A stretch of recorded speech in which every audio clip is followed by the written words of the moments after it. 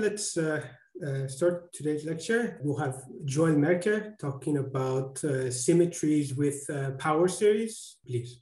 Okay, so I'm happy to be able to present some recent results. And also, I would like to express my thanks to the Grieg uh, program because I was like lucky to discuss uh, with uh, Pavel Nurowski who is not here today, but maybe it's because he knows everything. And then I will speak about like uh, elementary uh, things, a bit of affine geometry, and I, I, I scheduled to speak about um, exceptional CR manifolds. I try to, to do it today.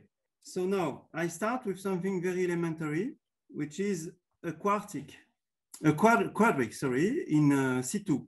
So Z is X plus I y, u plus iv is w, and therefore I'm looking just a, at a paraboloid, u equal z z bar. So u is really part of w. So I try somehow to represent a general hypersurface in C2. And this is a true picture on the right. Okay, so this is very elementary, but I will say first, because I was asked to, to do something a bit elementary. And then I'm looking at the affine counterpart of this uh, object in C2. So here first, I'm working in C2, and I want to look at the same object in R3. So this means that everything now X and Y are real, and U and also, which is this picture, in fact. This is this picture. This is exactly this, okay? And I'm looking at very elementary thing, which is affine group the full affine group, not the special affine group, because the special affine group would be that this determinant is equal to one. So I don't do that. So you have 12 constants here. And this part, this part is invertible matrix in GL3 of R. So there is a famous theorem by Doubrov, Komrakov, Rabinovich, which was redone by Eastwood and Ejov, which classifies the locally homogeneous surfaces in three-dimensional affine space, which is either a degenerate, so cylinder is a degenerate situation, which means that it is a product. What it means, you take a curve in R2, okay? And you make a product with R this way. So it's times R, okay? So the curve times R, which is a cylinder, which is a degenerate case because it amounts to classification of curves essentially, modulo slight, slight adaptations. So there is a complete list. Okay, so I don't comment much on it. So it's like not trivial. And it's only in the 90s that the list was complete because there, were, there was a work by Abdallah and Vrancken about the class of surfaces whose Pick invariant vanishes identically. So it was like delicate class. And once this delicate class was done, there could exist a complete classification. Okay.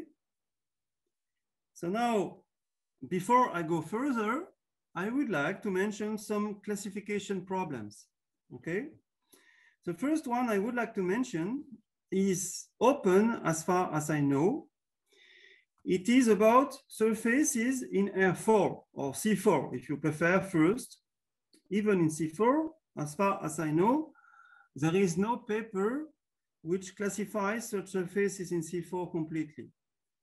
And I would like to say that when you take S2 times I R4, this contained in uh, No, no, no. Maybe I, I uh, I'm making a mistake. Yes. So anyway, maybe I would like don't want to insist on that. Maybe I will do it informally. Okay. So in Vitushkin school, there is an old problem, which is 40 years old problem, is to somehow understand geometric models, homogeneous models of six dimensional CR manifolds in C4. So this means that the CR dimension is equal to 2. And the codimension also is equal to 2. And there are three uh, classes, elliptic, parabolic, and hyperbolic. And there is a paper in 1999 by Isayev, Ejov, and Schmalz who proposed to have a structure on it.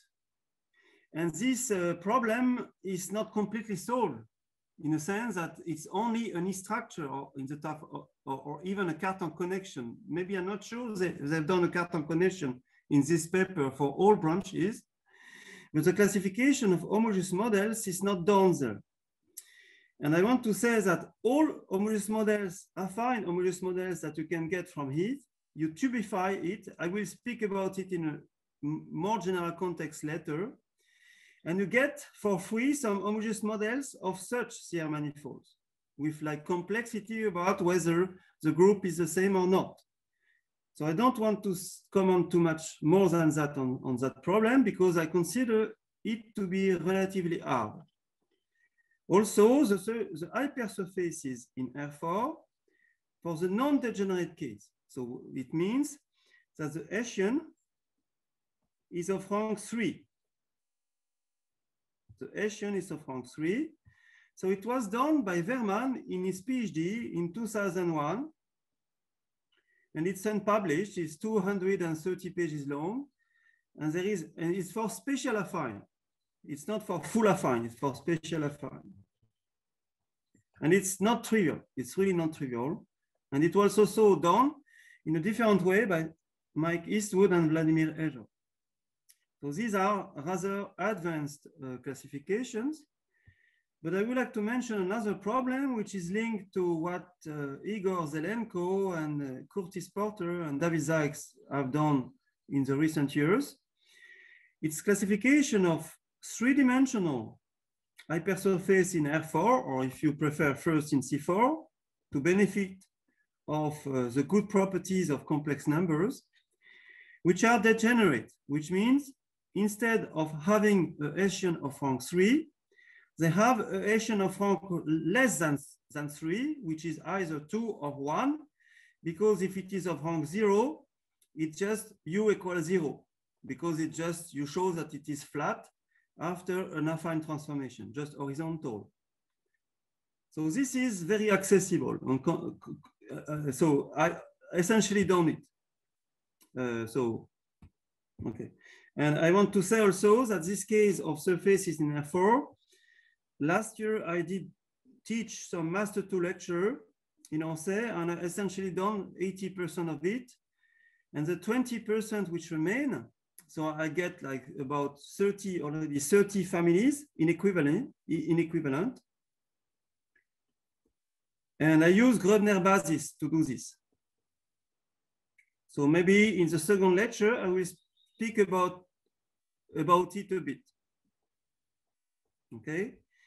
And the 20% which remain, uh, the problem is that it's difficult to find a transversal. I don't know because I have a vector field in, in R3 and it has some phase, phase diagram which I do not really understand and which is necessary to understand to find normal forms. Anyway, so this is just to be, be, be, before I start anything and mention some open problems. So now I start again with something extremely elementary. So I'm, I'm, coming back to this very uh, simple quadric. So I'm speaking to non-experts. So experts should forgive me to do something so trivial.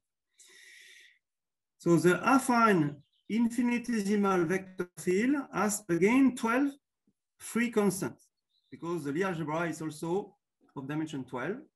So these are these constants A, B, C up to S. And it is well known, it goes back to Lie, that the flow exponential TL applied to a point of R3, which is of three coordinates x, y, u, stabilizes this surface, in, in fact, any surface, which is graphed as u equal f of x, y, if and only if the vector field L is tangent. On restriction to the surface, it's tangent. But it's important to say that the vector field is extrinsic because it's defined over R3. it is really defined over R3, okay? It's not just defined intrinsically. So now what I want to do now is to examine this, what I call L, which is the equation for the vector field L. So what do I mean? I mean that I apply the derivation L to minus u plus x squared plus y squared, and I restrict to the, so, to the, to the quadric u equal x squared plus y squared, and I examine these equations. So what do I do? I assign weights x1, y1, do 2, why? Because when you multiply by lambda x, there is lambda square here, lambda square here, and hence lambda square over u, okay? So this is why you assign weights, and when I will speak about exceptional CR manifolds, it will be the same. So now I expand the L in power series of X and Y, no U, no U at all, because I replaced U already. And I organized, I organize the, the, what I obtain weight by weight. So this means that I assume that I plus G is equal to mu, and I make the sum for mu equals zero to infinity with increasing weight. And what does it give it to me? It gives to me something elementary. So zero identically equal to, as I said, a polynomial, sorry, as I said, a polynomial in x and y, okay? Even a Taylor series, okay? So this is what I, what I said, no problem. And the coefficients are linear in the coefficients of the vector field, A to S. Just, it's just elementary to convince oneself that it is true. And then in this specific case, which is the most elementary essentially, so I repeat, it's just this very simple quadric, there are no monomials of order more than three. So it's just a polynomial, what I get, and it should be identically zero. And so this means that all coefficients of the monomials, okay, should vanish. And therefore, I obtain a linear system, okay, which is this.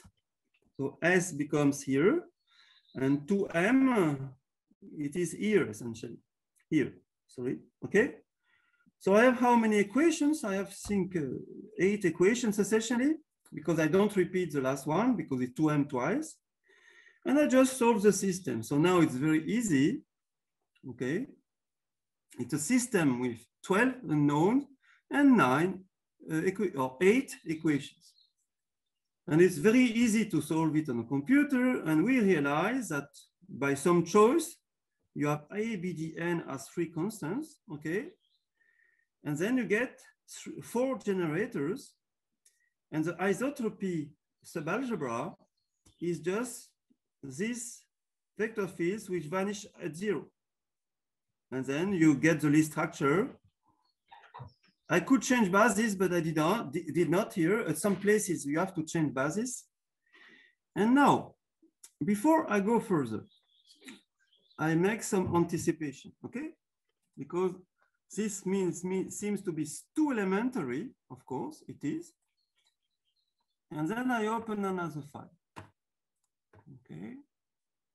So please open, open, open. Okay. It seems that I have something here. Okay. So this is what I've done with Pavel recently.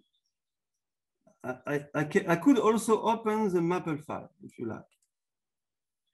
So it's, a, it's rather a similar story, but with uh, much more complexity. Just to say that I'm not doing only trivial things. So I will explain it more later. So once again, you take, you, you see there is a vector field, which I call L on Maple. This is a PDF from Maple. And you have some coefficients. So I had to make this file work to get some formula that I will show at the end of this talk or maybe next talk. I don't know whether I will have enough time. So this is a program, program for this vector field. It's like it takes time to write it down correctly without mistakes. Okay. And I really had to do this for such number of variables and such number of equations uh, until I was able to guess the general formulas. I will commit to it later, but now look, the linear system, it takes place in C complex number power 130. I repeat. So the computations take place in C power 130. So I have a similar linear system with that number of unknowns, this coefficient A, B, C to S I showed already. So it's like six, 60,000 unknowns. And that number of equations, okay? So after some struggle with Maple and like improve the way of telling Maple, please do it, please do it. So in this case, it's just one half. So when I, what I expect here is to get 80 vector fields, but I split the vector field in two groups of 40.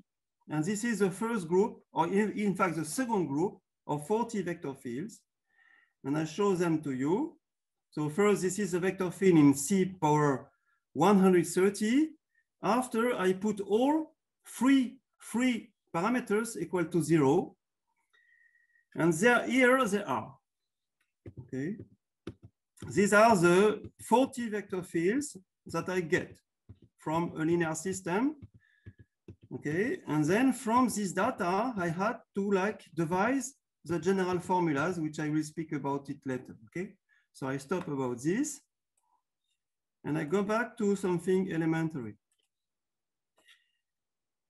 Now I, I, I am still about affine geometry, not yet Cauchy-Riemann geometry. I, and now I raise the dimension and I take hypersurface now in C4. I take C4, but the same result is true over R. So it will the same result also without using uh, the fact that C is algebraically closed.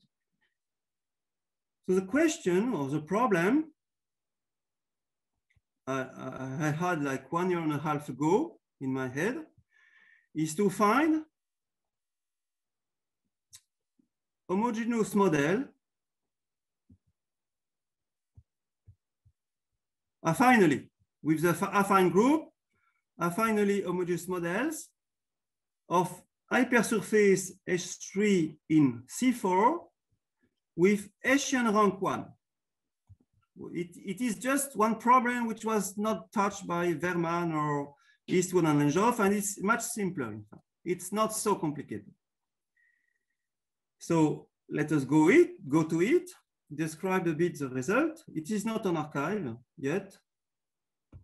So I take a surface, a hypersurface, U equal f of x, y, z, and it has a Hessian matrix. So the Hessian matrix, if you change affine coordinate, you can verify that the Hessian matrix transfers like TP times HF times P. Of course, P is an invertible matrix, so it is non-zero. So this should be the new Hessian matrix, HF prime, if you want. So this implies that the rank of the Hessian matrix is affinely invariant, which is very well known. So now I'm asking, what about homogeneous models in the branch when the Hessian rank is identically equal to one? Little exercise. First, I want to comment about what could be called degenerate cases. So these are the degenerate case. I did not do something proper with all details in these slides. So this is the degenerate case, and I just say orally what's happening. So because the Hessian rank is equal to one, this means that the matrix, after some elementary affine transformation, the Hessian rank, the Hessian matrix, the origin at least, is of this form, of course.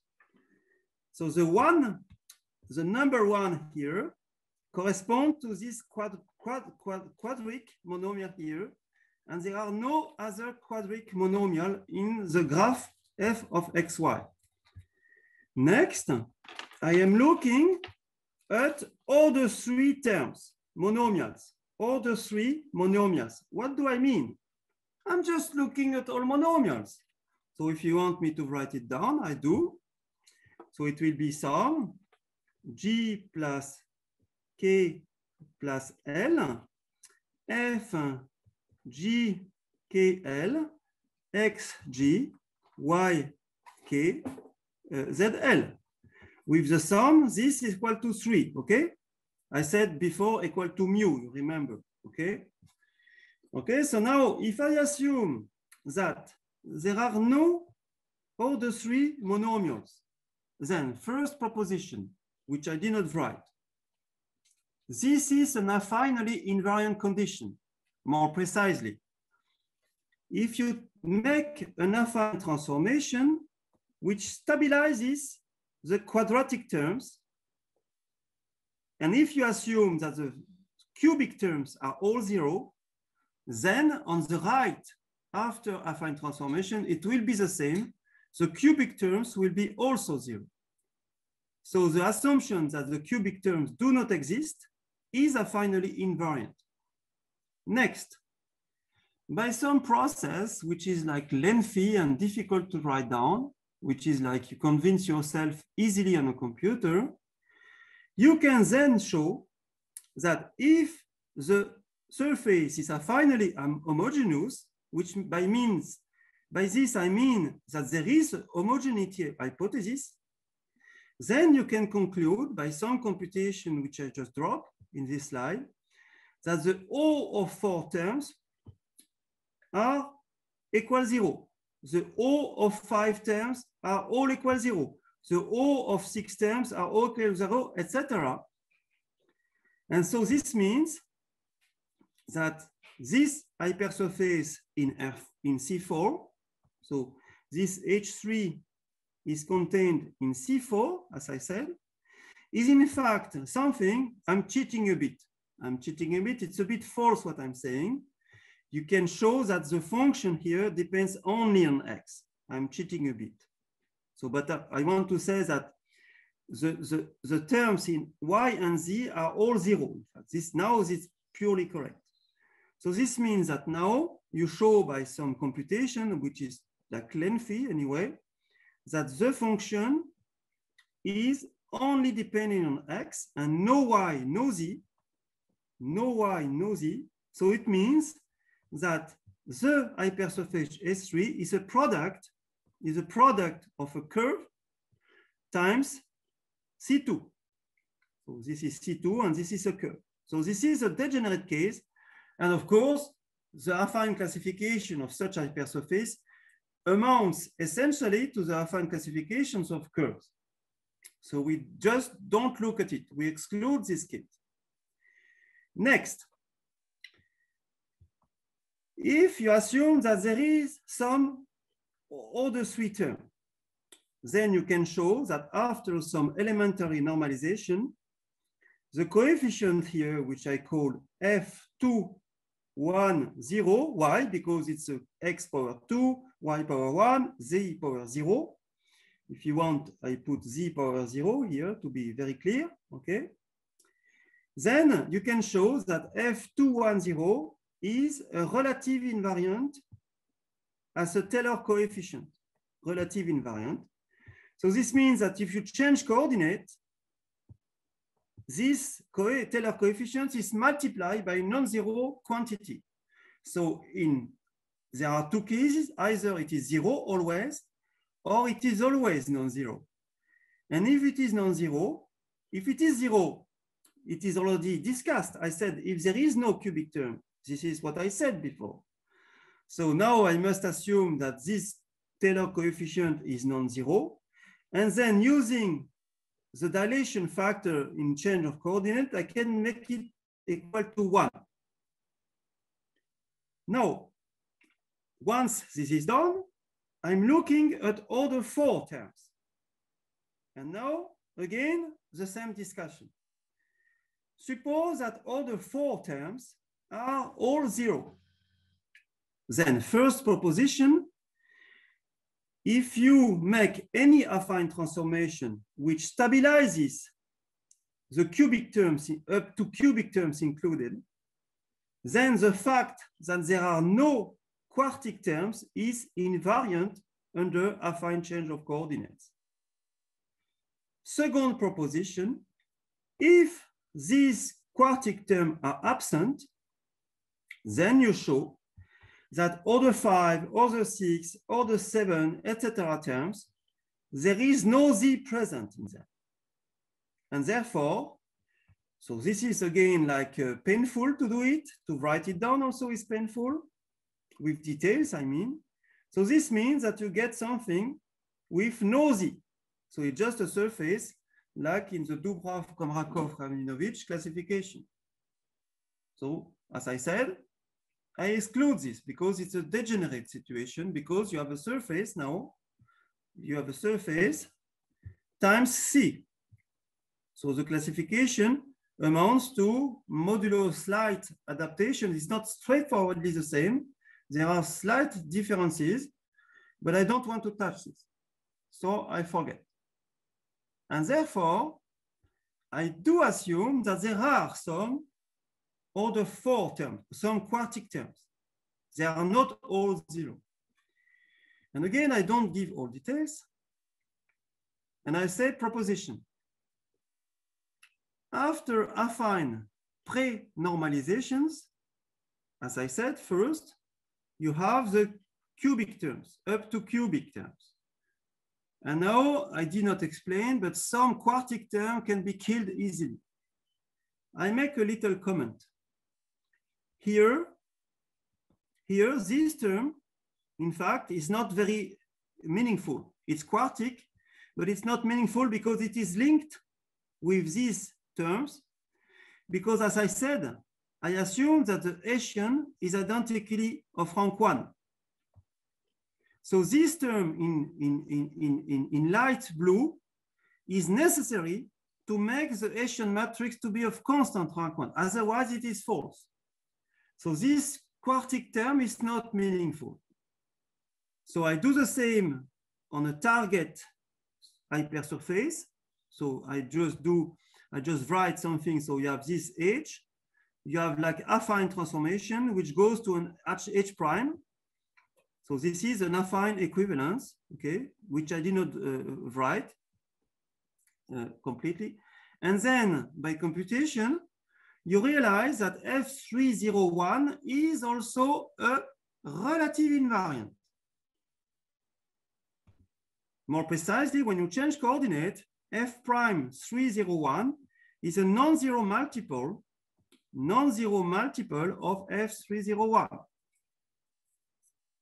If you do enter a bit the details, after group reduction, so I say that group reduction is to stabilize this normal form up to this point, you can verify that the subgroup of the full GL4 group is this.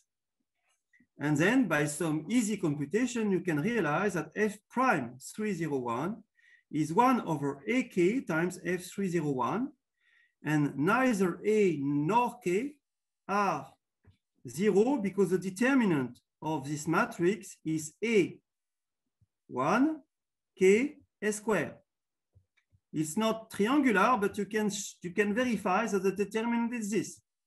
And it should, of course, be non-zero because it is a subgroup of GL4. So it is a subgroup of GL4. So it, is, it must be non-zero. So as I said, this is non-zero, and therefore this is a true relative invariant. And now, if this relative invariant, you can even show that, I did not mention it here, that this you can also always uh, uh, normalize to zero. You can always make it zero. It does not count, in fact. So now you have to create two branches. The first branch is this term is non-zero, and the second is this term is zero, but the second branch is already done. Because I was cheating a bit when I said uh, there are no other four terms. I was cheating a bit. This is about what I call independent jet, not full jets. Anyway, I don't want to enter this technicality, so I continue. And now I assume, because I said if F301 is zero, then this is a degenerate case. So I don't care. I don't care about the degenerate case, okay? And now what do I do? I do assume that it is non-zero. By using A and K, I can make it equal to one. And therefore, I get this kind of thing. So this is my starting point. So here, look the combinatorics. So here there is x squared. Here there is x squared y. And here there is x cubed z. And I put some factorial. Six is factorial of three. So as I said, this is just something not very useful, but necessary for the Hessian to be of rank one. And now next, what about other five terms? So again, these monomials correspond to the fact that the Hessian should be of, of rank one, so they are not very meaningful. And now you realize that this is a relative invariant. And also next, uh, you look at all the six terms, okay?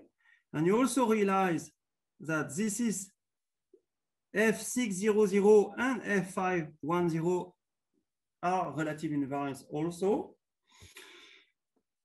And after some exploration, you realize that only the branch when F600 is equal to zero lead to a homogeneous model. And it is this one, which is a bit exotic with a closed equation. And I want to make a remark. Here you divide by this, this square means that it is not analytic, it's not smooth. It seems that, to, that it is a singularity. But no, this singularity is illusory. Why? Because there is this square root, here, and there is one plus something. You expand in Taylor series, and you see that the z square disappears. It, it is illusory. So it's really analytic. So now there is another representation with no square root, which is perfectly equivalent. And this homogeneous model has one dimensional isotropy. And it is the full classification in dimension three. There is only one homogeneous model with Hessian rank one. So after doing this, I also on the computer studied the four dimensional hypersurface in C5, okay, with Hessian rank one or the Hessian is the Hessian of the graphing function f, hf, rank one. So it is, if I, if I do put coordinates, u equal f of x, y, z, and say uh, s, for instance, okay? And then once again, so I did not... Uh, uh, Joel, can I, can I ask a yeah. so in your first form, u equal to the square root, do you take two branches plus minus square root to get actually homogeneous uh, model? Uh, you're probably true. Yes, I did not like uh, recovered everything. You're probably true. There are two solutions. I agree. I somehow remember. Ah, so, so, actually, this, this, this, more, uh, this polynomial form, that, that's the correct form to do it, right? No, not with square root, but below this. Uh... Oh, yeah, of course, the algebraic form is better, as you say. I agree with you. Yeah.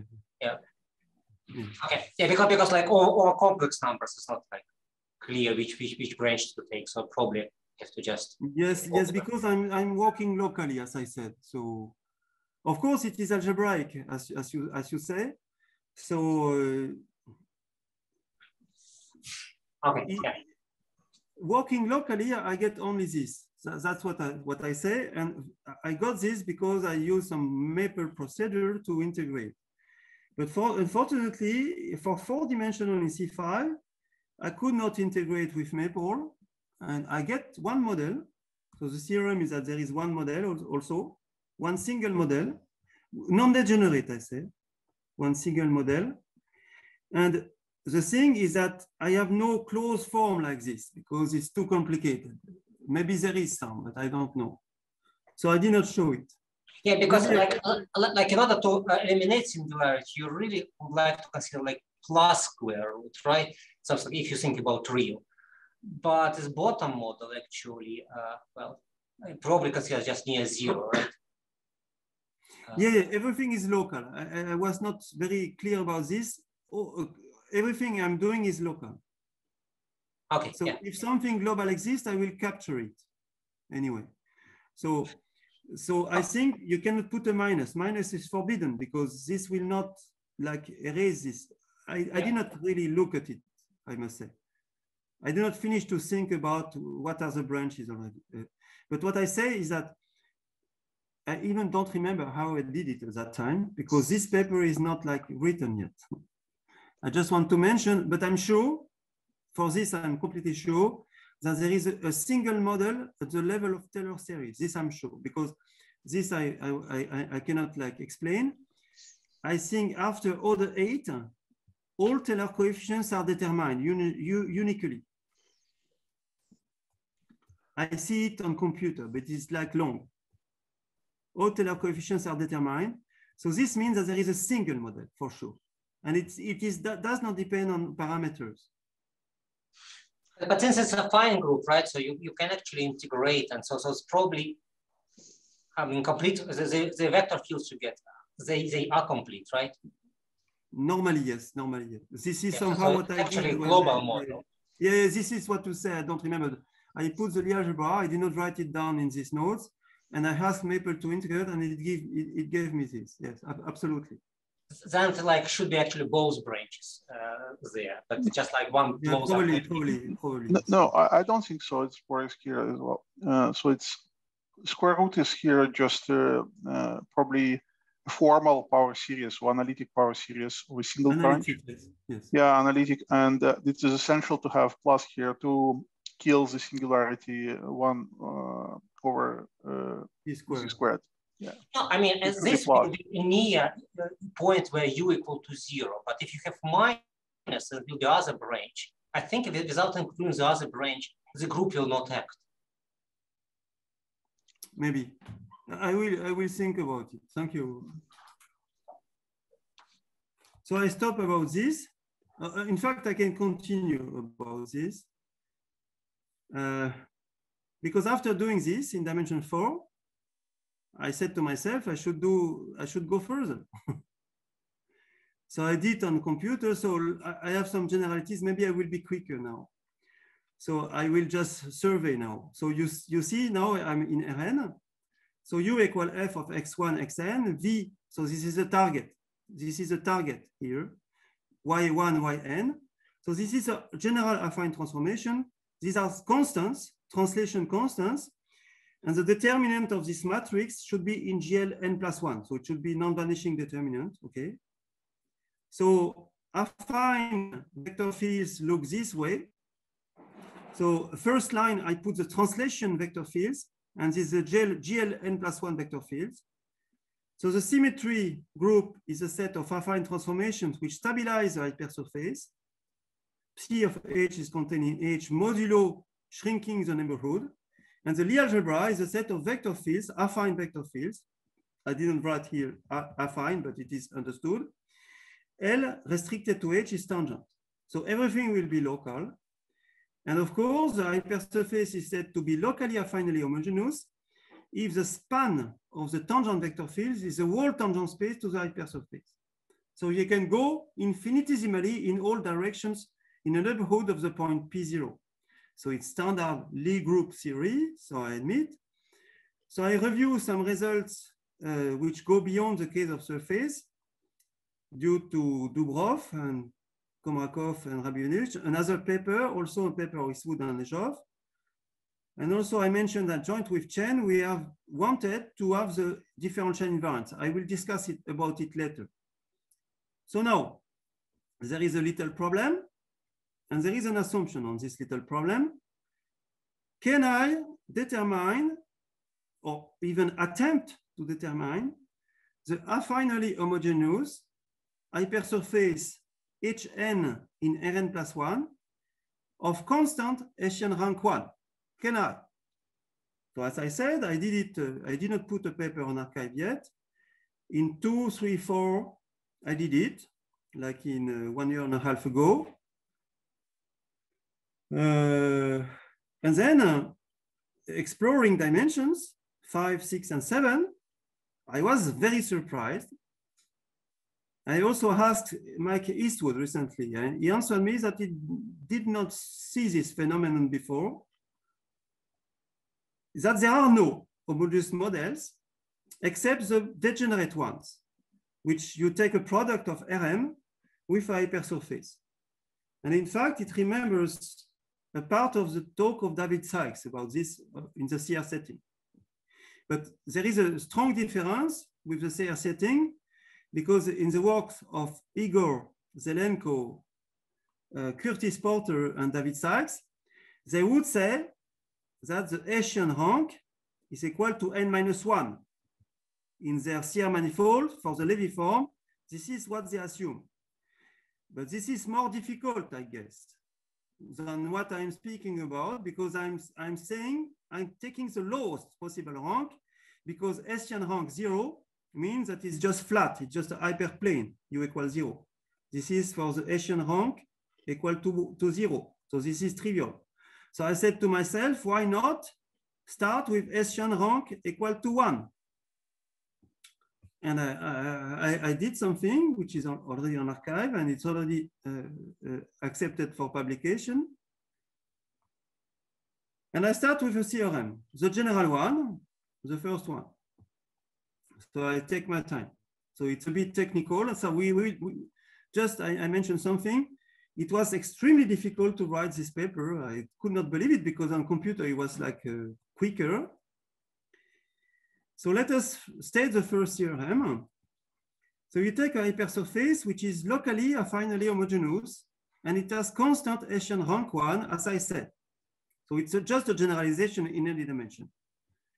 Then there exists an integer which I call NH, which is an integer intrinsic to the hypersurface, so that I can split the coordinates to x1, etc., x, this special integer nh, x, n, h plus 1, etc., to xn.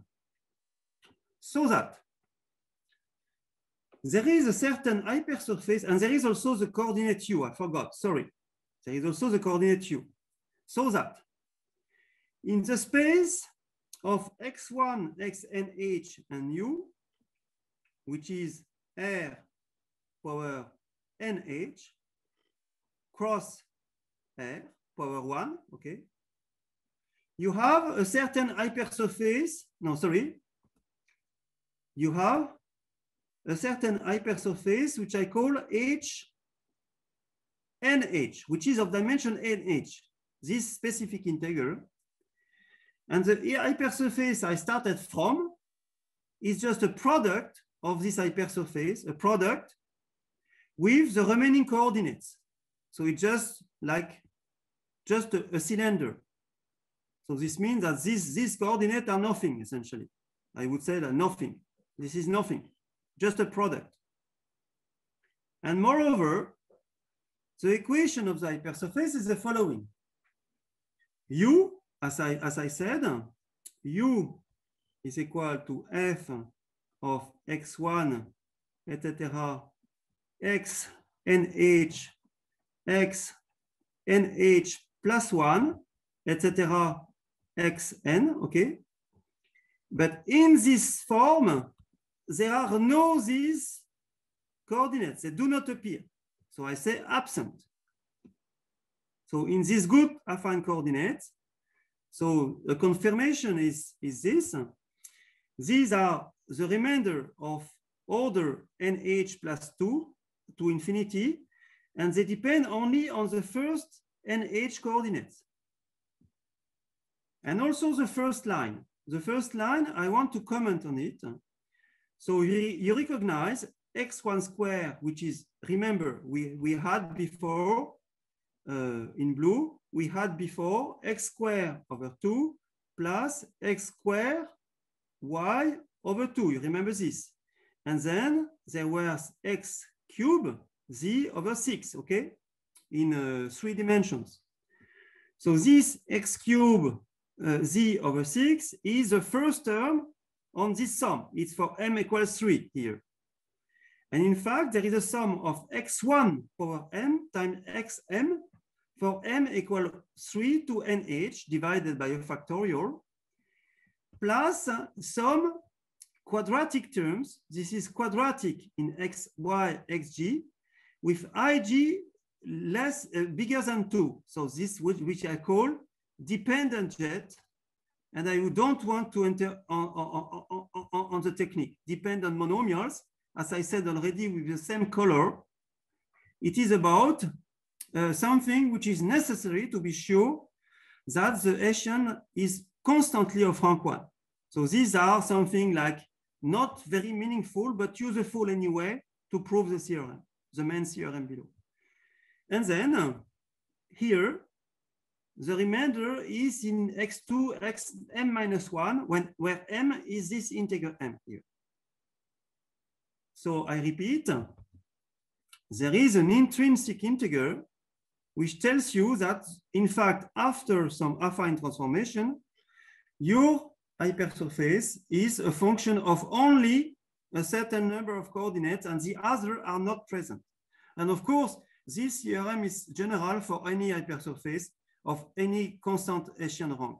This is no, this I just wrote it down for constant Hessian rank one, but for general constant rank Hessian, I am not able, the thing, the, the theorem that it depends only on a certain number of coordinates can be proved for any constant rank in any dimension, but the normalization I wrote, no, I don't know how to do it. I did not really try, but I know maybe I cannot do it. I'm almost convinced I cannot do it in general, because now I strongly assume and use the fact that the Hessian is of constant rank one. So as I said, I exclude, exclude the degenerate case because it amounts to classification in smaller dimension, modulo some slight changes. Generate cases, okay? So this means that from now, I assume that NH is equal to N, it's not smaller, okay? So now what do I do? I write down this theorem for NH equal N, okay? And not only this, look, because there was some difficulty in this, in this project. Uh, look, here I, I finish my last comment on this slide uh, in blue or no, no, no, maybe in, in uh, yes, this, this. So look, the sum goes to NH here. So this means that M is NH and X, M is NH. So the order here is NH plus one. Order NH plus one. And this is normal because here I said NH plus two, okay? So I'm able to show you the order NH plus one terms but if NH now is assumed to be equal to N, then it will be N plus one. But it's not enough. That's the problem. It's not enough. You have to go further. This is the second theorem. So of course, I do not, so in the paper, it's like, it's like 50 pages of details. So I don't give all details today, it's impossible. But now I've write down the theorem for NH equal N up to order N plus one included. And now I state the theorem. Uh, no, sorry, it's the next theorem. Sorry, no, no, no, no, no. I go to order n plus three first. So I said previous theorem is n plus one. Now it's up to n plus three. So again, concentration rank one as before. Okay. And assume it is not affine equivalent to a product of Rm with a certain hypersurface in smaller dimension. So this means, once again, that NH is equal to N. Then, in the introduction of the paper, I could write down the terms up to order N plus 3 included. included. So it's less than N plus 3. So it, now it's a bit more subtle because now, remember, you had this kind of terms, okay? But at this place, you have al already used a lot of the affine group. So it remains not so much freedom to normalize. In order n plus 2, so this is this line, so this is order n plus 2, you can still use some freedom to normalize some Taylor coefficients.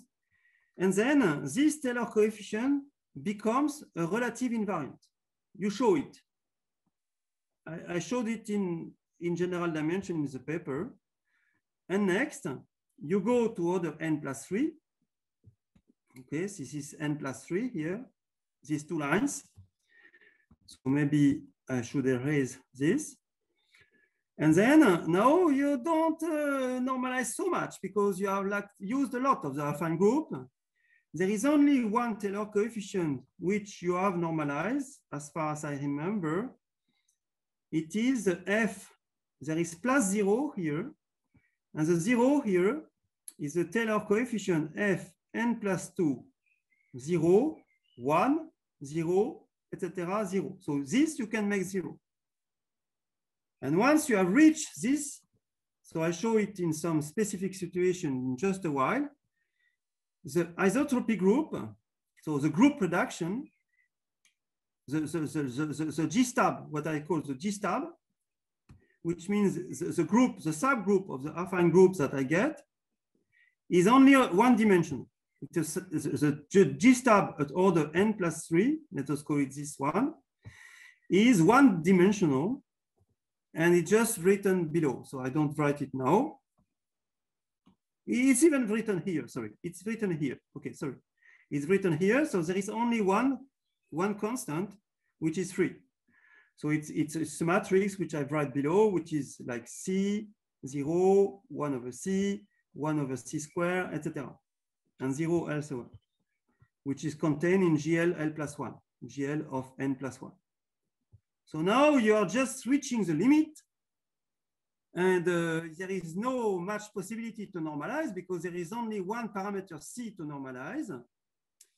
And I should have done this before, but now I look at what it is really in small dimensions. In dimension two, it is this. So this is what I said, F40, F31, this is a G3 stab. And then you can show with details how you can, for instance, normalize this F40, okay? Because here you have the B2, B2 here, which is a free constant in the subgroup of GL3, GL of 3R. And then you can use this constant to normalize, to kill, in fact, to kill this, and then next to kill this, okay? But now, as I said, so this is now an illustration of what I said before. Then now you say that this Taylor coefficient G31 is just a multiple of F31, so it is a relative invariant. You see it on computer easily. Now in dimension three, so here are somehow the details. So again, there is x, as I said at one moment, x squared over two, x squared y over two, x cube z over six, okay? Plus the dependent monomials. And then you can show similarly that you can normalize some more Taylor coefficients. For instance, you can use B2, which is here, B3, sorry, B3, which is still free. So everything is red, in red is dependent. Red equal uh, used already. It's already used, okay? What is in black? Black is can be used to normalize. Can be used to normalize. Can be used to normalize Taylor coefficient. To normalize, okay? So I use B3 and then also similarly, I can use a 2-1 here, which is still free here to normalize, for instance, this G, G401 as I said before. So here I normalize this one, this one, and then everything disappears, everything disappears. So this coefficient disappears, this coefficient uh, F401 disappears, and then this remains a relative invariant. So this is in dimension three because, as I said, there are only two terms here. And there are, we, you can see that G410 is a non-zero multiple of F410 because, of course, A11 is non-zero. It is essentially on the diagonal. It's a di diagonal, so it is non-zero. Okay, go, go. Now in dimension four, or dimension four, you have similar things. So once again, these things, this kind of thing are dependent monomials okay? So you recognize here, you recognize the sum, as I said, x1 power m xm, okay, divided by m factorial. So here in this slide, it's for m equal 2 to 4, okay? And then you look at other n plus 2 terms, not n plus 1s. Here, here is n plus 1, here is n plus 2, and again, you do it. You look at what you can normalize, and it's similar. So I draw. In dimensions 5, I wrote down also in the paper, in dimension 6 also. And now in dimension 6, you have more things you can normalize, but the, the combinatorics is the same. But now comes, starts the trouble. How can you prove, you write this down in general dimension? How? Huh. You have to dominate the combinatorics. That's not easy. So I took, it took me uh, quite a bit of time to write down the paper. And I will skip presenting this very uh, technical part, but there is a key aspect, which I will speak later in these Grieg lectures, which is to always infinitesimalize the action on a certain order, like Lie in his complete works did, to slightly simplify the computations. Now, I cite the real theorem, not just the preliminary one. But now I realize that I spoke already one hour, close to one hour, so I should like stop soon, isn't it, uh, Omid? Um, I mean, it's up to you. We can go a little bit uh, further, 10 minutes, 15 minutes. Uh, it's up to you. Yes, maybe I should stop with this in uh, like less than 15 minutes. I, I, I wanted to speak about exceptional Lie algebras and CR geometry. Maybe I will devote five minutes on this uh, at the very end. So this is a theorem which gives you the normal form up to order n plus n plus 5. So this is n plus 5. And it's, it's a big deal to write this completely, uh, to, to verify that proofs are correct. Of course, uh, all what I've wrote here is the same in dimensions 2, 3, 4, 5, 6, 7, because I have files on Maple, which gives the same formulas as I somehow showed just a part before, not everything, up to the n plus 5. And then I check that the formula that I write is exactly the same that I obtain independently on Maple file. So I have good, good, good, uh, good hope that there is no mistake. And now I start with the same main theorem, which was a bit unexpected to me. In any dimension n, at least five, there are no affinely homogeneous, constant Hessian rank one, and non-degenerate, which means non-product. I say non-product hypersurfaces. So this means, that I, I, as I said, that the, the specific integer NA should be equal to n. That's, that's the theorem. So just a few words about how the proof goes. Comme ça. Okay, enregistré. It's not, once you got this, when you, when you are, once you are able to normalize up to the n plus, plus five, uh, so what's happening to me? I try.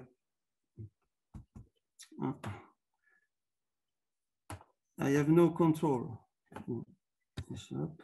I have no control now.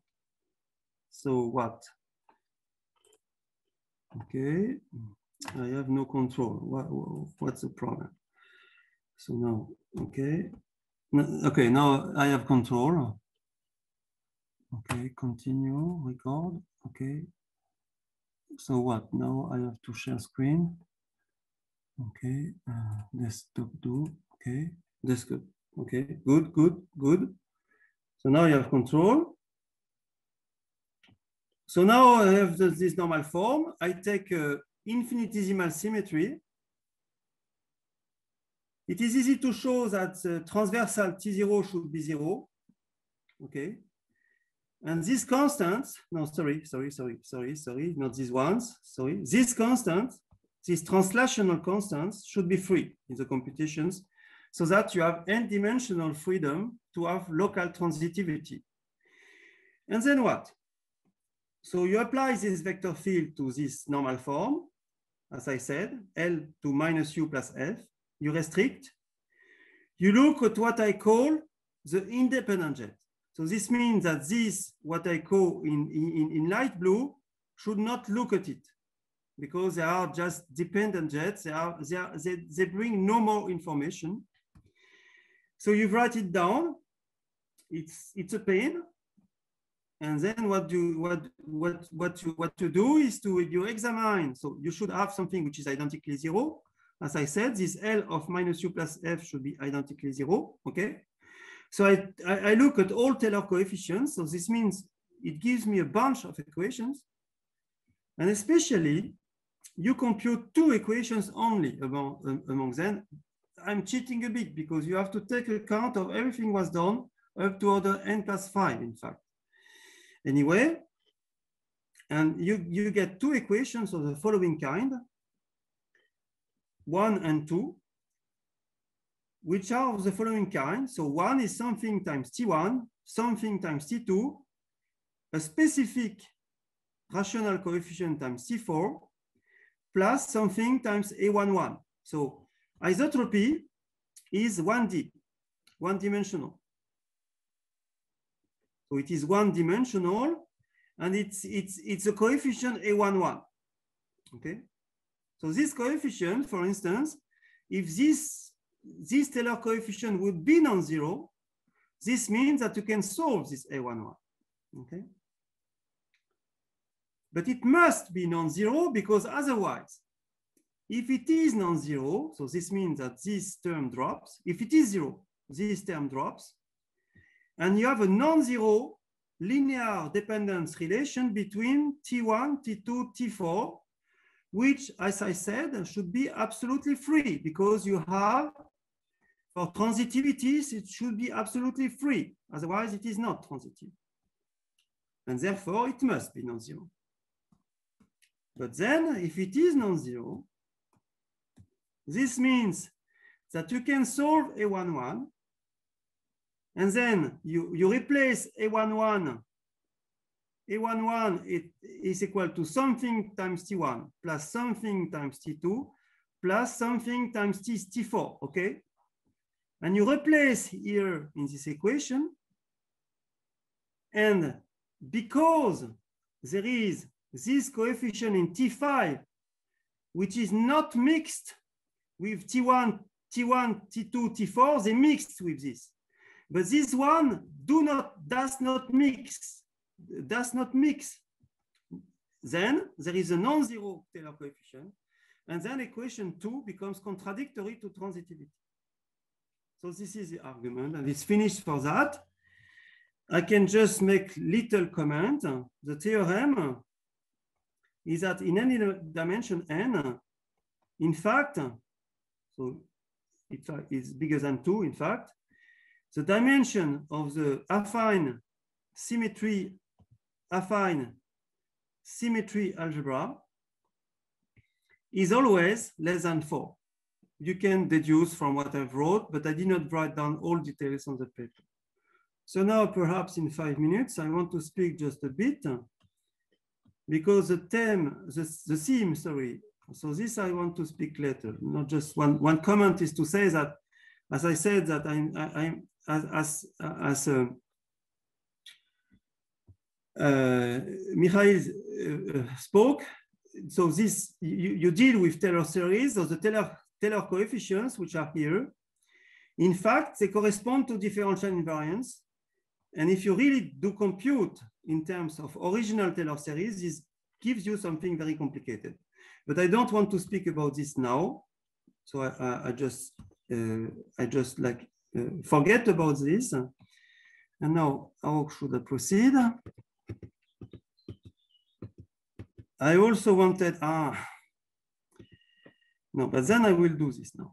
I think it's more reasonable to do something very elementary to, to close this, uh, this, this lecture. Because next time I will be really able to speak about exceptional uh, CR manifolds. So now I'm looking at something very close to surfaces in R4. So now I'm in C2. And remember, I was starting really part of W is equal to ZZ bar, which is X squared plus Y squared. So now I'm looking at CR manifold. So it's something absolutely basic, what I'm saying now. So you have one parameter families of biholomorphisms. You differentiate, you have Lie algebras with holomorphic Taylor coefficient. This is holomorphic, this is holo. Okay. And now I want to say, so there are some, uh, some, some, some possibility to graph, to make a graph. So U is a real part of W, V is the imaginary part of W, okay? And I'm looking at the model quadric, which is very well known, and I want to, to show how you determine the Lie symmetries of it. So once again, the flow of the vector field stabilizes the hypersurface if only if L plus L bar is, is tangent. So there is a mistake here, it should be M3. I'm sorry, I made, I made a copy pass, so there is a mistake. This is a three-dimensional CR manifold here, okay? So L plus L bar, it just you conjugate Z becomes Z bar, etc. Okay.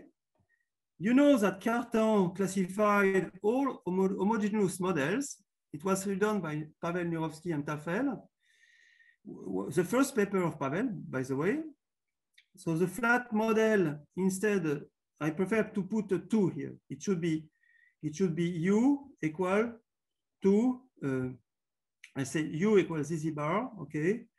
But I, I prefer to put two U here so that I get W plus W bar, which is more elementary. Uh, there is a little less complexity. So now I assign weights. Once again, is because when I multiply Z par lambda, lambda, there will be lambda square here. And then it should be lambda square here.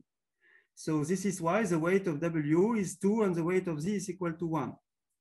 So this is absolutely general. So this is what I, I was supposed to present in full generality today but it will be next lecture because there is a way.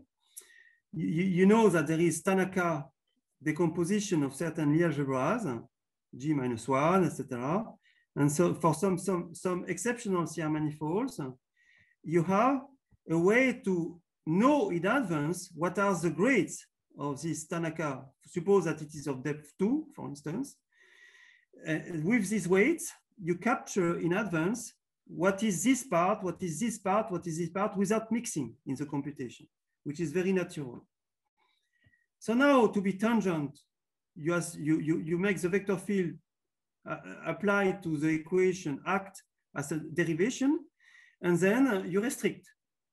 This gives you this. But now, as I said, you have to replace W by minus W bar plus ZZ bar. So W here should be replaced, W should be replaced here. This gives you this, okay? This gives you, this gives you this, okay? And now you expand in Taylor series. And what you say, as, as, as before, there is a weight here. And now be, be, be careful, there is I plus G, and there is a two here. Two because the, the weight of W is 2 here.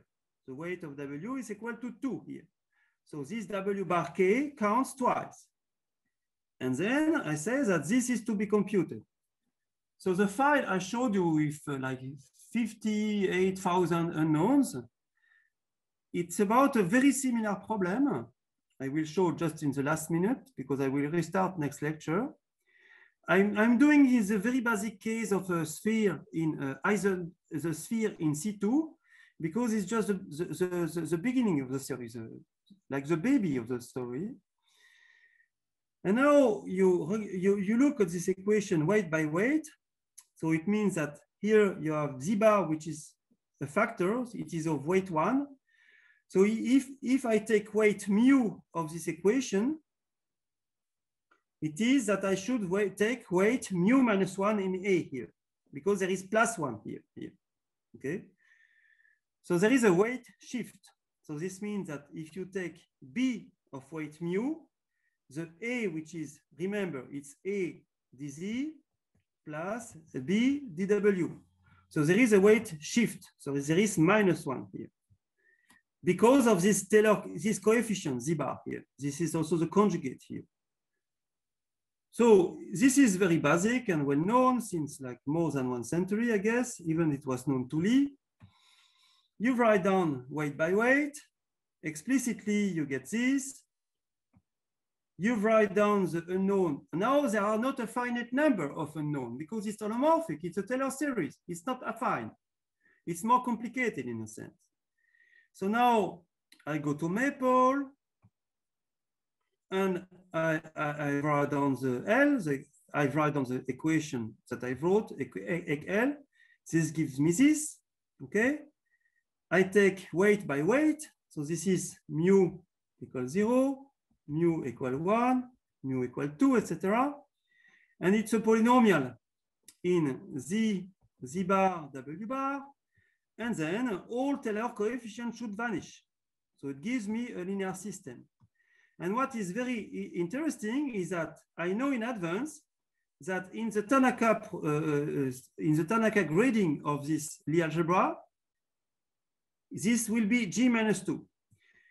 This will be G minus one. This will be G0. I know this in advance because if I look at weights, I know what, what is the homogeneity. It's immediate in a sense. I do solve these equations at order zero, at order one, at order two, at order three, at order four. You have also to show that there are no Tanaka G3. So for instance, I say, no, sorry.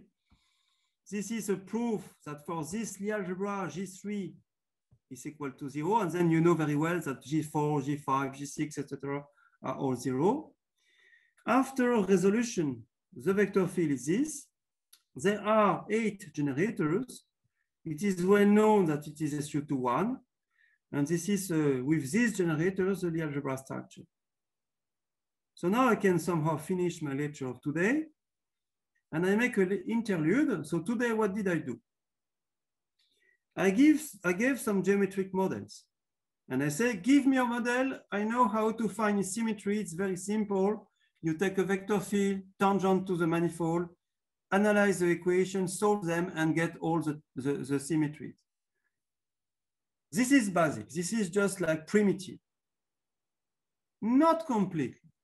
Not completely because just before I spend one or two minutes to, to speak about what will be coming next lecture, not completely, but it's more interesting to find all homogeneous models with the method. And I claim that with this method, with this primitive method with vector fields, you can do it. And you can do it very efficiently. And this is what somehow several times said Mikhail Zhitomirskii, and I fully agree with him. And the computations are much less demanding than with Cartan's equivalence method. But I come back to, in one or two minutes, to what I said. This give me a, a, a, model, I will give you the generator seems to be easy to do, but it is not. So this I will speak later. I just give you something. So next time. So this is about exceptional Lie algebras, which are realizable as, as, as CR manifolds. This will be about next lecture. These are the structure constants of E6. So you have, you have several real versions of the complex E6. And the second version in the Satake diagram, which we, we borrowed from the book of Čap and Slovák, is this. From this, a collaborator of Pavel called Zhao Nie from Utah State University was able to, to, to give me some CR manifold like this, okay? So now it's a bit more complicated because you have like in C16, it's already 16 variables times two because it's even R2032. So to find the tangent, the tangent L is non-trivial, becomes non-trivial. So it's one hour, one hour with this. Uh, so mm, Pavel came to Paris for one week and we discussed about this. So he showed me that on his computer, it was one hour of, of computation using uh, Ian Anderson's programs. So what he does, he transfers this to an exterior differential system, okay? So like uh, dz uh, equals something. This is written just a bit above. Okay, we, we see something exactly this. So you see it. This this it just it's just a simple computation, and then there is a procedure to say what are the symmetries of this exterior differential system, and it's one hour of computation. The problem is that it's not easy to devise the combinatorics. And now I can finish with this just in 30 seconds. Now I, I stop sharing the screen. And I go to Maple. No, just one moment. No, stop share, I said. Okay. I share another screen, which is the first screen. Okay. Which I want to share this. Now I should launch Maple. And I have a special command for this. Yes, it's here. Okay. And I will show you that this computation for this uh, model is uh, rather quicker than one hour with my programs. Okay, go. It's a bit slow. This is an old computer, I'm sorry. So I, I just write down the eight equation I showed you, and I ask with the program to compute the symmetries. For instance, for G1 or G2. Okay. Maple. Exceptional. CR Maple. E2 final. Let us go to G1, the G1 of Tanaka, for instance, or if you prefer G2 because it's a bit, bit more complicated and it should be this. Okay, it should be this, okay? Okay, so now I have my vector field L, so it's, and if you can view, these are the eight equations I showed you with some specific notations, etc. And now what it is, I, I, cannot do it by hand, by the way. So how many uh, unknowns? You have 800 unknowns and 6,775 equations to solve of the kind I showed you. And now I ask Maple, will you be slow or quick or quicker than one hour to solve the system? So now look, I return, return. It, it was done in two seconds, look, three seconds, 3.39, everything. Once this is passed, this is essentially finished. Okay. So in this setting, I have five free variables, and then I get the, the, the, the symmetries. Okay. Voilà. I have five symmetries. And then uh, I do it for G1 also, for G0, which is quicker. And I will show you next time how to do this for other families, which is like more, more demanding than this direct uh, computation. So I think I have finished for today.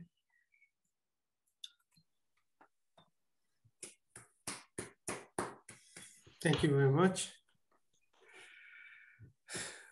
Questions? Uh, Maybe I, I could ask a question. Uh, thanks, thanks for the talk, Sean.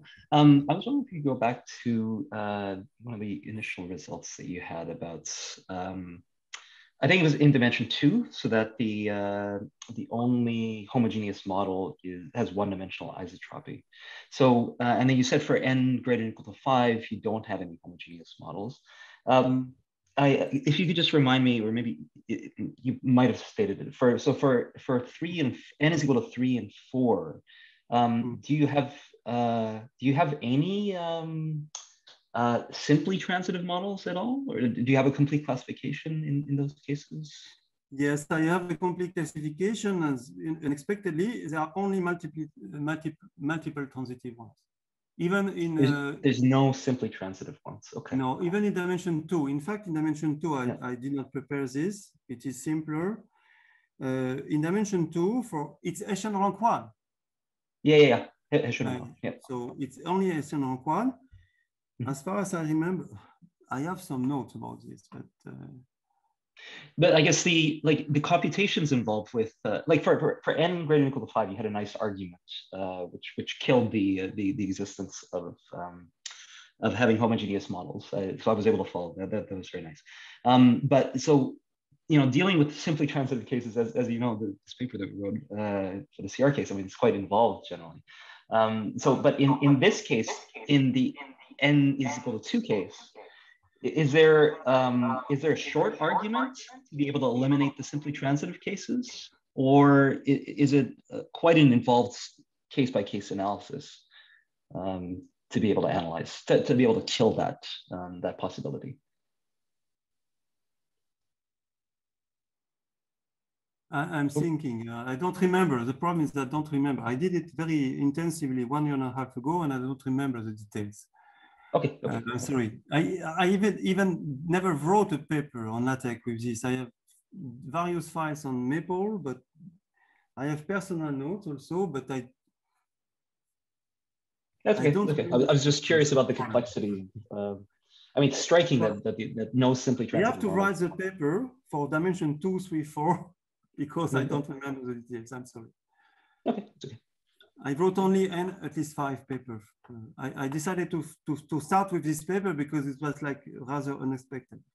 But I agree with you that it would be nice to have some like direct argument. Mm -hmm. But I don't believe that for n uh, big larger than five, you can avoid. It was discussed by Igor at some point, I mm. remember.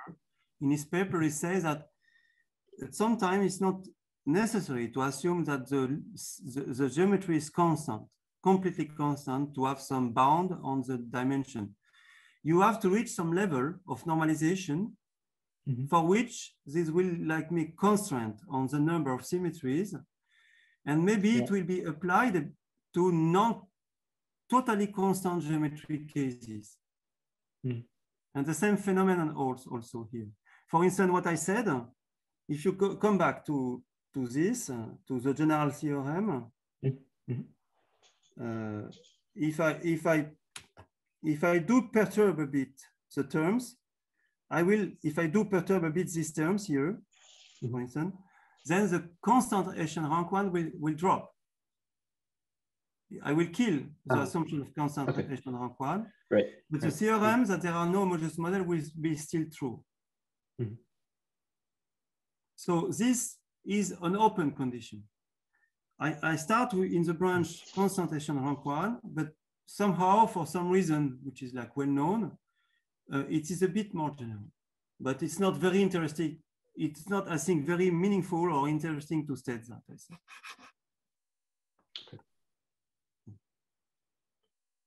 Joël, can you please, uh, as Boris uh, here, so can you please um, uh, confirm once again. So you said the dimension of the symmetry algebra is at most four. I was mm. thinking that in dimension four, this would mean that you have simply transitive model actually. Yes, you are right. Uh, I, I was not, uh, so I could have answered Dennis that indeed it is true. Of course, in dimension, I did not write the paper yet. So, but for, for some reason I said to myself, will I write this paper? I don't know. But of course, I found a simply transitive one. Absolutely. Now I remember.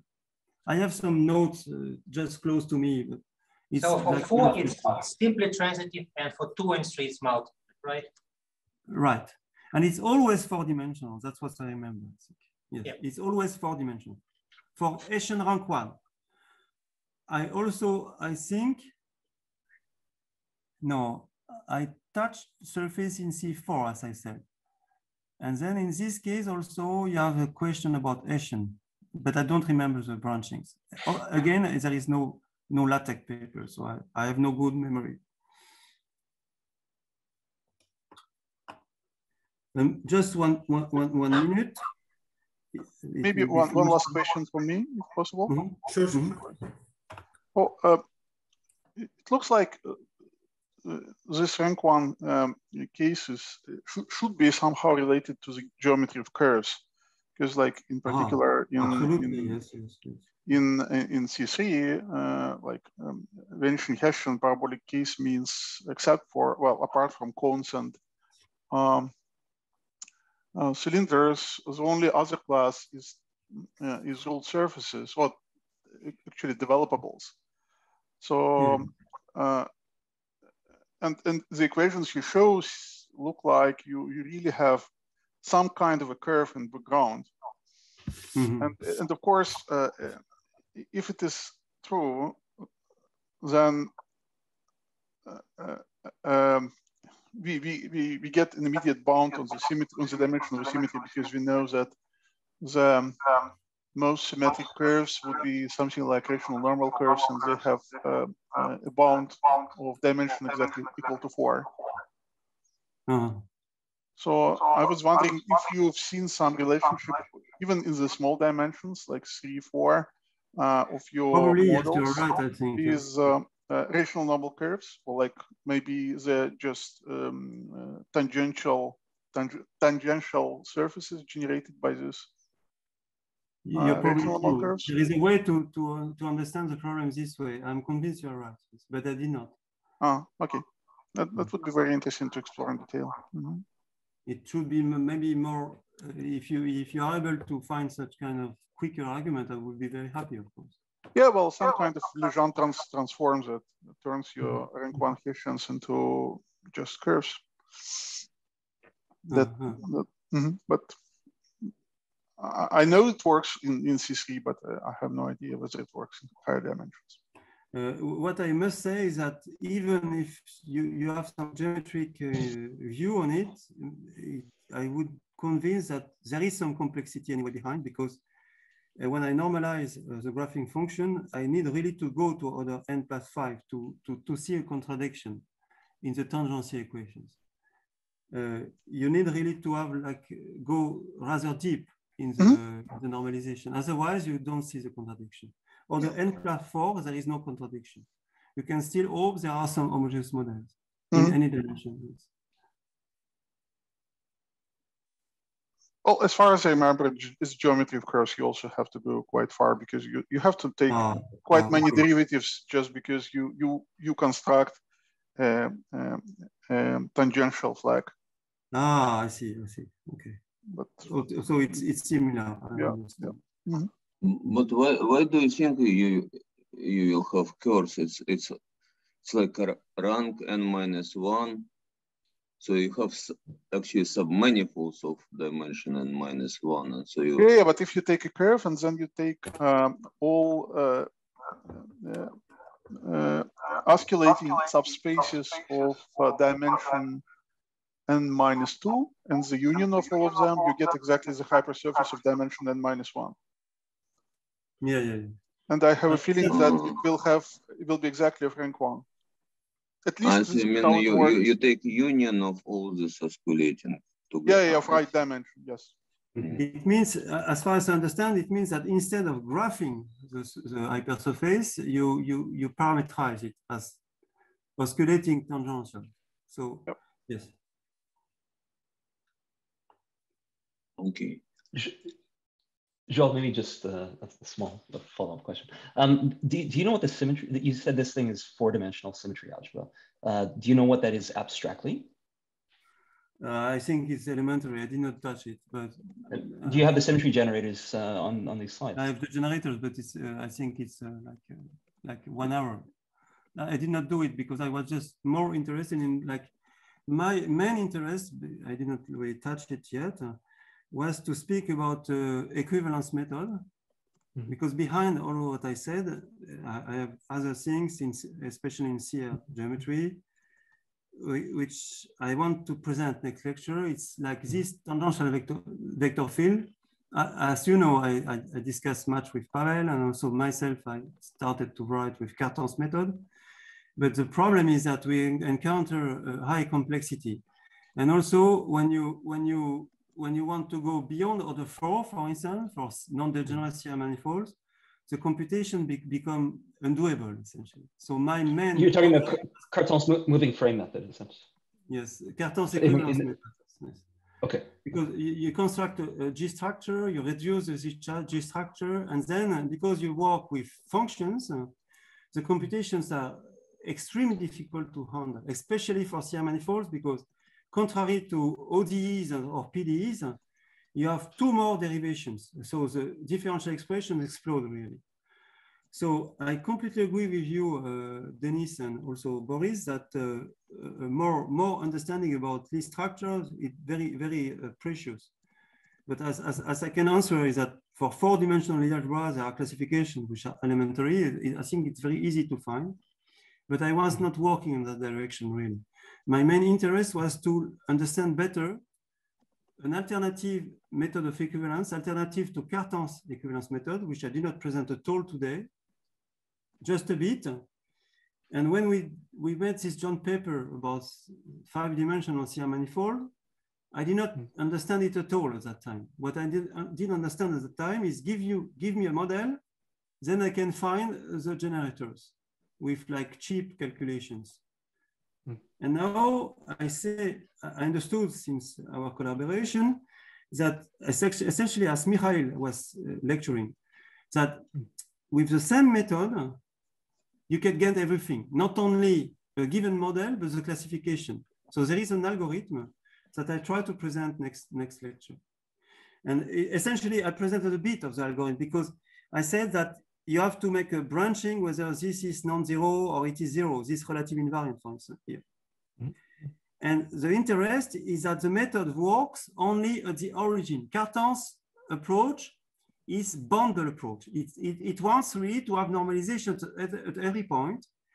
And when you construct an E structure or in affine geometry, we, we, you construct an invariant frame or co-frame. You work at every point, and there is a price to pay in computation for that, a very high price.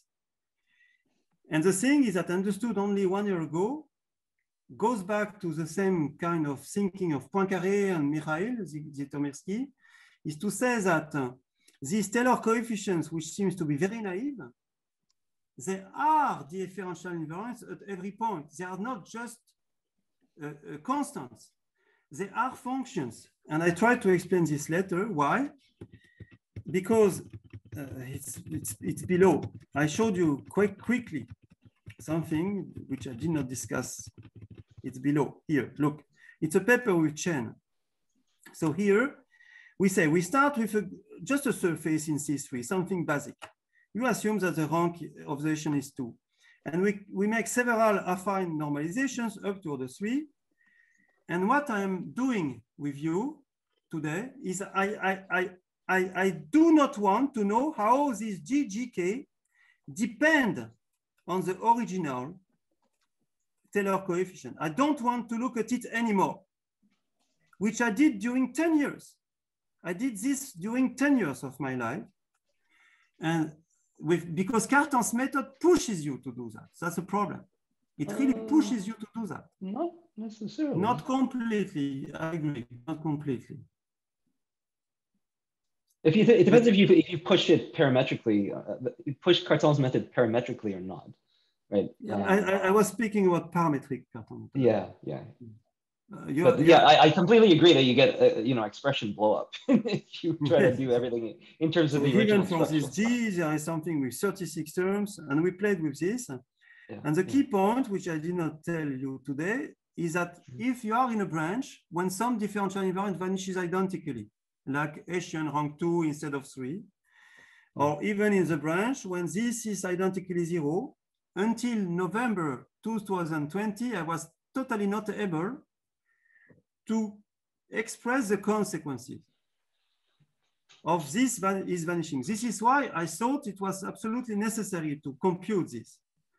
But in November 2020, I was able to find the consequences in a branch when a differential invariant vanishes, just at the level of Taylor coefficients without knowing the function. And this was the key, I think, the key point I tried to explain next time. Because as, as, as, as we know, uh, Dennis, uh, uh, as we both know, in these CR manifolds, which are non-degenerate, we do not completely understand the branching tree after order four. You, you've done with Boris and uh, Medvedev uh, absolutely uh, terrific, impressive papers, two papers, which I was extremely impressed because they were able to finish the classification but something is still a bit unknown. It's a branching tree in order five, six, seven, because this is to be discussed about whether a differential invariant vanishes or not. And this is I this I want to to work on it, but I not enough time. So I have a PhD student, Julia Ed, who is looking at fiber preserving uh, five-dimensional PDEs, as you've done with uh, Boris Doubrov and Alexander Medvedev. And we encounter something that we'll present next time is that we have an action of GL2 on eight dimensional. So in Cartan's case, it's five dimensional, it's projective.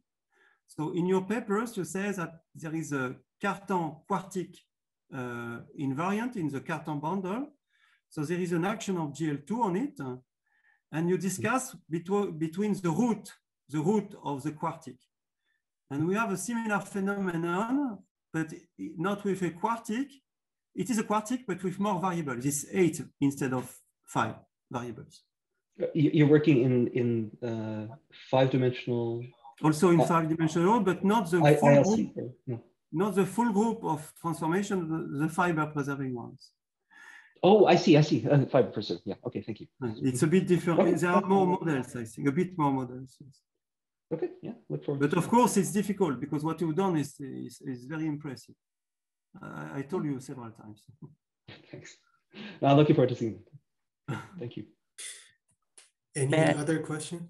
Uh, I have a quick question, just um, to clarify with the the rank rank one Hessian mm -hmm. structures did um, did you find these are locally locally unique or or they're they're they're not in each n equals two three and four yes and two three four uh, it's i have the models but i did not write they are they do not depend on parameters yes. They are oh, okay.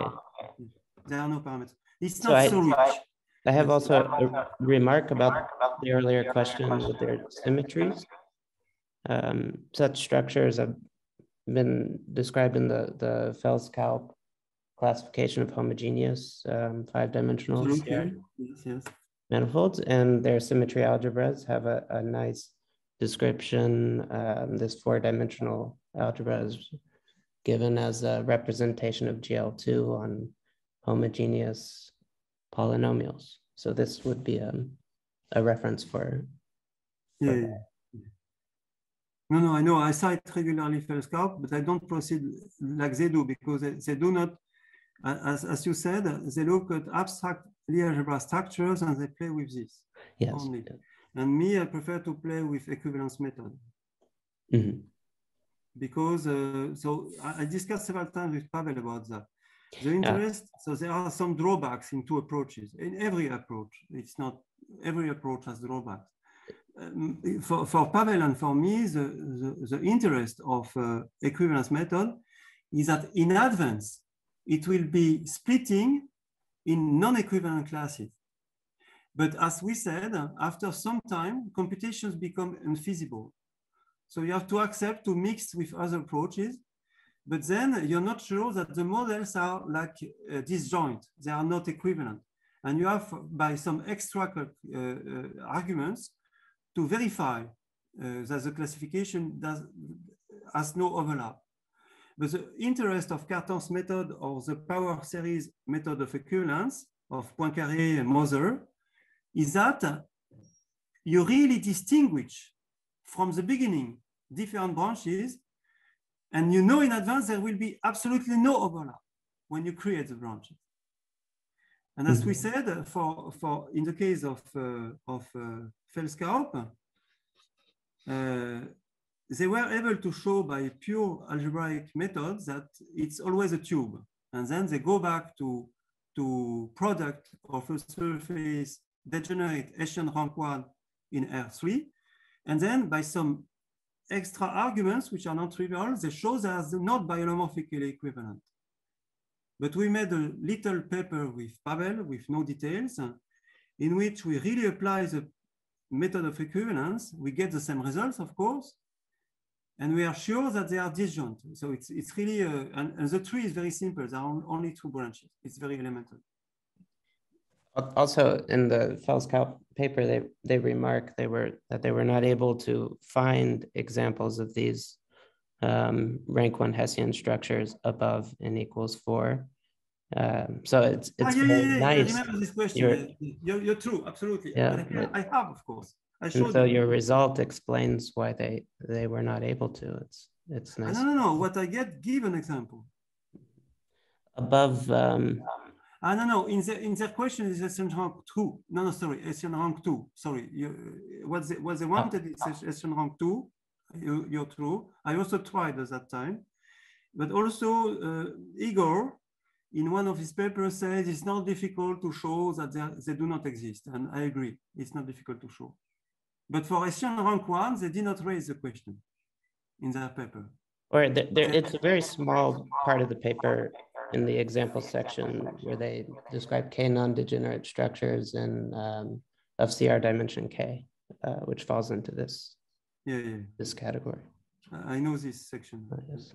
Okay. But okay. First, first so, in, a, in a later paper, was able to find examples in, in high dimensions. He has a paper first, which is not much cited about that. Okay, maybe if there are no other questions. So let's uh, thank Joël again. Thank you very much.